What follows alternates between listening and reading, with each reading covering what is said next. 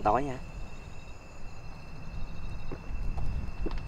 Đây quay cuối cùng đây quay nãy giờ cuối cùng mình cũng à, làm xong đồ ăn. Rồi hôm nay thì ăn cái món à, thịt bò nướng và bò xào với à,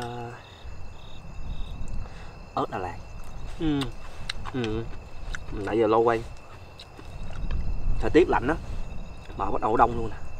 Phải ăn lẹ ừ khó quá.